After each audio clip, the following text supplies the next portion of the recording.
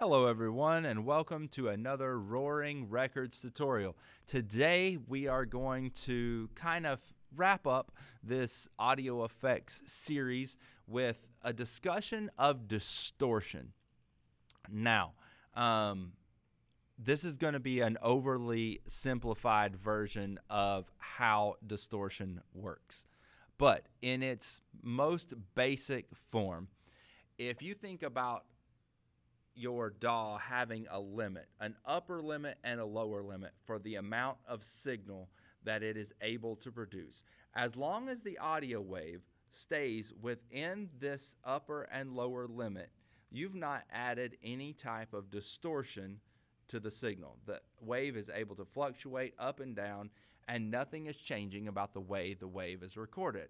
However, if you begin to push that signal loud enough that it goes over the actual threshold of what the loudest level your DAW will record, and it breaks this magic plane that it has no way to uh, understand, or if you're plugged into a guitar circuit and you've reached the maximum voltage limit that that circuit will uh, allow you to do, then the signal is actually, instead of curving across the top of that plane, going to flatten out as it comes across that plane and go back down. So essentially, you're taking these nice round sound waves and you're flattening them and pushing a what might be closer to a sine wave to be closer to a square wave in its actual form.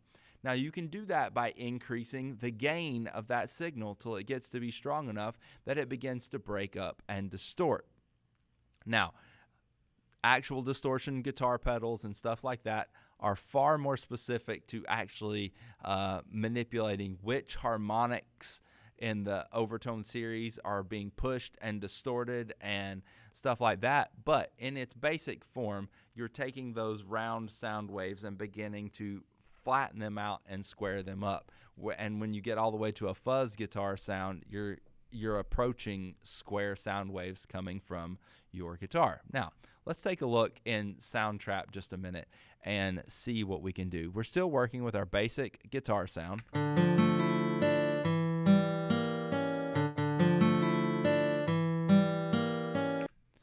and we're going to click on this icon to bring up our menu. And once again, we're going to click on the effects.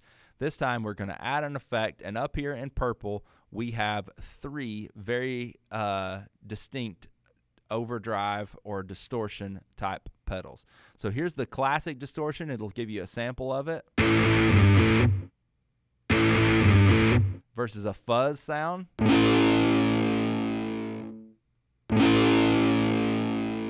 versus what we call overdrive.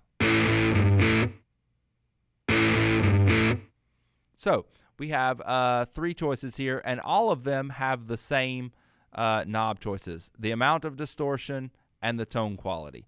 So, how much are we pushing that signal? How much are we distorting it? And the tone knob is kind of a treble bleed off. So, if you think about the high frequencies, it's maybe a high cut um, provided to this. So we're going to start off with a low level to no level distortion and we'll leave the tone all the way up so we use as much of it as possible and I'll gradually add in the distortion.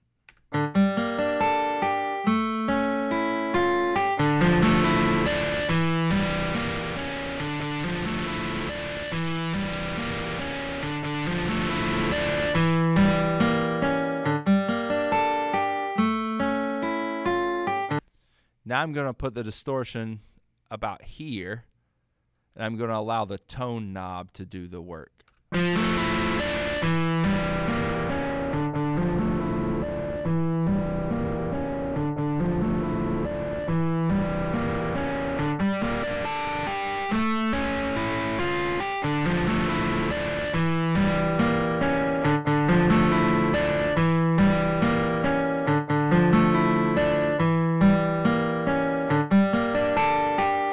Now, maybe there on this loop provides some uh, some level of distortion that would be useful to a particular uh, sound.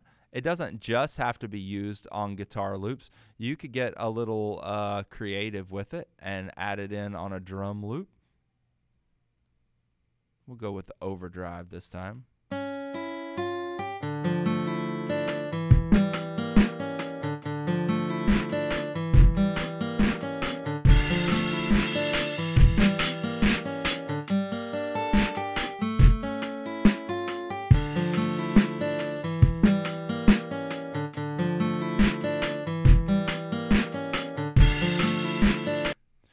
Could use these loops and, or these pedals in all sorts of different ways.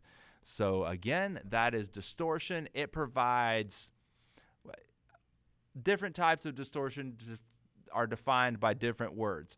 You've got fuzz, crunch, growl, drive, um, grittiness. All these words kind of go into describing distortion in the long run, but you just have to find the right type of distortion to fit uh, what it is that you're looking to uh, create with your tone. So I hope you found this helpful. If you did, hit the thumbs up button and subscribe to the channel for more.